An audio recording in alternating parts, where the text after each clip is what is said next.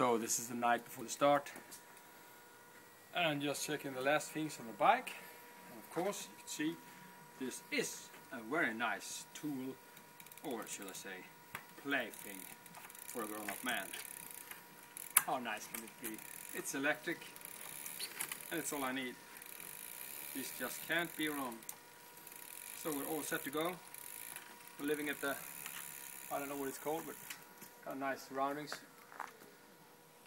Actually, I think the Sky Guys are coming here tomorrow. so if it's good enough for me, if it's good enough for me and my son, it's good enough for them.